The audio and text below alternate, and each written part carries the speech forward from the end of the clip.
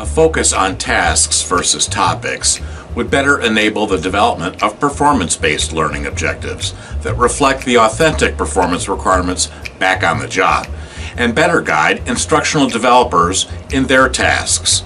With a focus on topics, it's always a guess.